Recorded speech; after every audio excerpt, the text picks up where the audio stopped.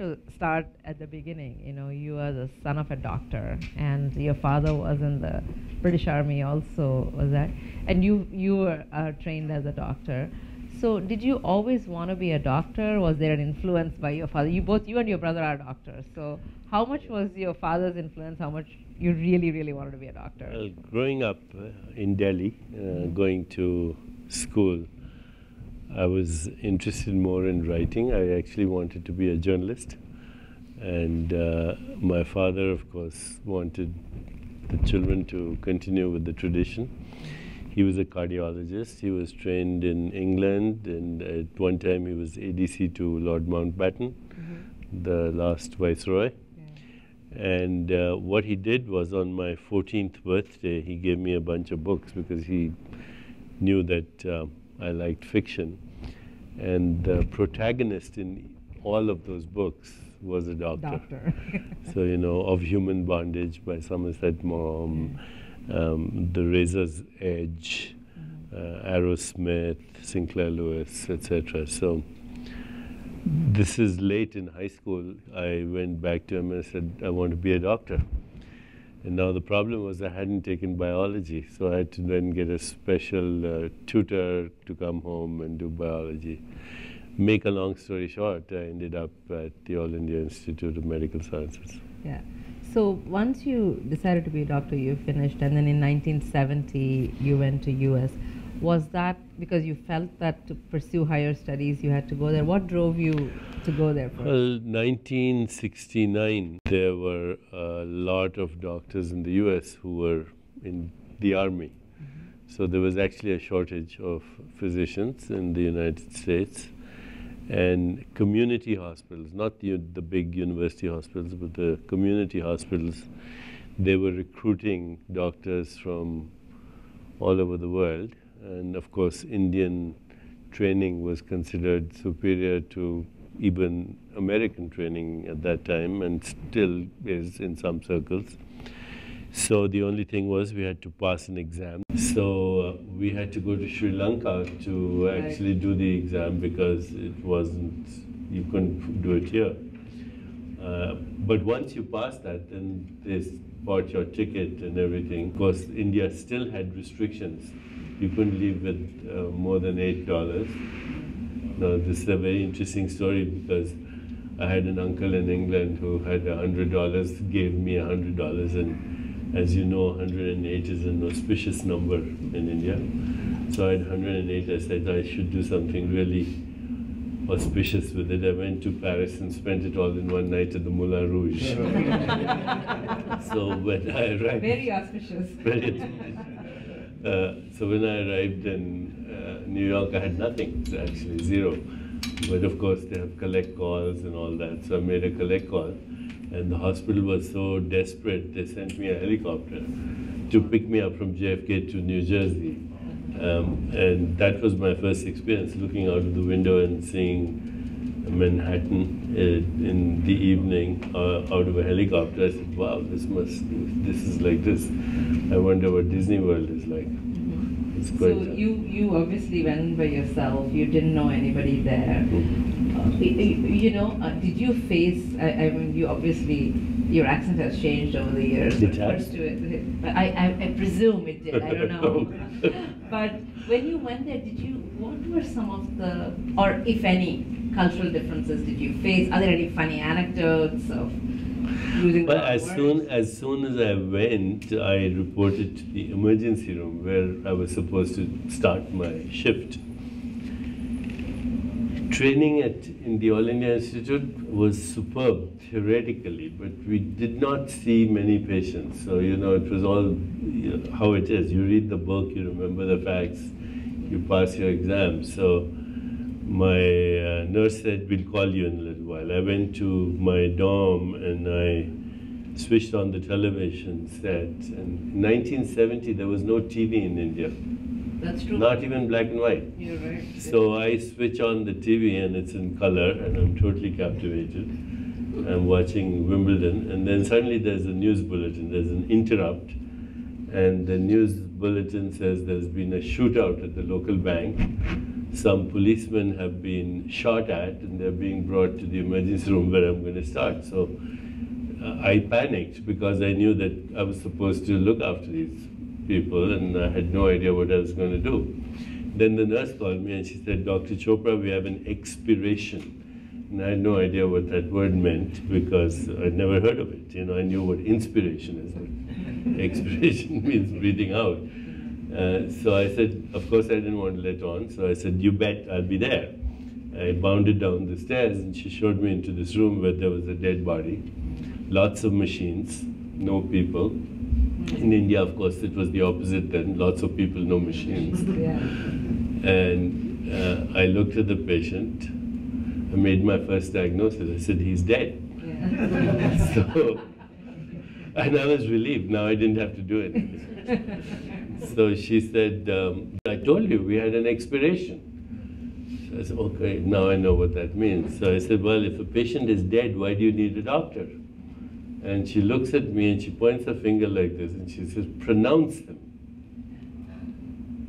I'd never heard that also, you know, you can't leave your, your soul can't leave your body till a medical deity pronounces you.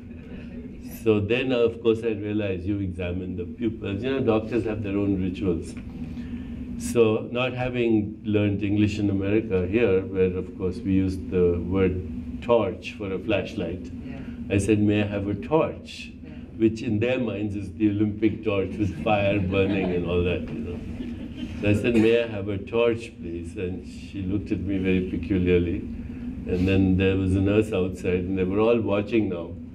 And she looks at the nurse. He says, He wants a torch. and she looks at me. She says, Maybe he wants to do a cremation. so that was a bit, bit of a rocky start. But you know how it is in medicine? You learn by looking at what's happening. And within eight hours, I was totally comfortable. Mm-hmm. I mean, it was, I, in fact, I was enjoying it, you know. It was a trauma unit, so, and we were in a ghetto in New Jersey. It, the reputation was that this was a mafia hospital. By the way, 1970 was when The Godfather by Mario Puzo was number one on the New York Times. Everybody was reading it uh-huh. before the movie came out. And so we had trauma and gunshots and murders and all kinds of things. And I was totally at home. I mean, I would just go and dive in and enjoy it. So that's on the professional front, you know, you adjusted. How was it on the social front? Did you make friends? I mean, Americans are very friendly, actually. Mm. Did you make friends right away? There were others like you who came from other countries, or how was it? Yeah, in our hospital, uh, there was me, there was one other Indian um, from Gujarat uh, with last name Patel. And uh, then there were three or four South Koreans. There were three Pakistanis. There were a couple of Italians, and there were no Americans. We were all kind of uh, people from other countries. So you know, there was you know from there to becoming chief of staff uh, at the New England uh, Institute. There's a huge journey. So what was I mean, in those days to, to be the chief of staff was it easy or what was what was some of the one or two moments or mentors or something that sort of helped you? I did research. I had a fight with my chief of my uh, the guy who was working with because he was you know shooting for the Nobel Prize, and I realized that academia was a big game of egos. And one day he asked me some question which I didn't know the answer was. He got upset with me, and uh, he asked me about some rat experiment. How many milligrams did those rats get in the 59 paper? And I said, I don't remember. And he said, You should have that in your head by now. So I had a big briefcase. And I took all the papers and poured it over his head in front of all the staff and said, Now it's on your head. and I can tell you're a very polite student. yeah. Well, no, I was, but you know, this was building up. Yeah. So he said, Do you know who you're speaking to? And I used an expletive, you know, you're a effing so and so. And um, and I walked out. And as I said, He was um, nominated for the Nobel Prize. He was one of the most important people. He was the president of the Endocrine Society. So he said, "Do you know who? You know all this." We were walking. I walked out of the building into the parking lot. I had a little old Volkswagen Bug, um, fourteen hundred dollars, and I got into it. He held on to it. Okay, Rita, whom you know, she was pregnant with Gautam at that time. I didn't go home. I went to a bar and I got drunk. And uh, he called her and he said, Your husband just ruined his life. Yeah. He's finished. Yeah. So um, she waited up all night. I came home four in the morning. We didn't know what we were going to do. Uh-huh. So two days we incubated. Then I read in the Boston Globe a little advertisement, which is not the place you look for jobs. You know, for a doctor, you look at, at medical journals. But I found this little advertisement again in um, in a downtown rundown hospital where there was an immigrant population, Hispanics, and you know these poor areas were very poorly staffed, and they were desperate, and they would take anyone um, for, and they paid you something like four or five dollars an hour that time, minimum wage. So I applied, and again I went to see the guy, and he was a Hispanic doctor from uh, Colombia. And I said, you know, I've worked in an emergency room before, but uh, only for a few months as part of my internship. He said, doesn't matter, I'll train you. So I, for one year I did, um, again, trauma medicine. I got really into it. At the end of the year, the chief of uh, endocrinology at another institution at, Boston VA, which is affiliated also with Tufts in New England, and he had just come from Harvard, and you know, academics have their own issues with each other. He called me and he said, "Do you want a fellowship?" I said, "I thought I could never get one."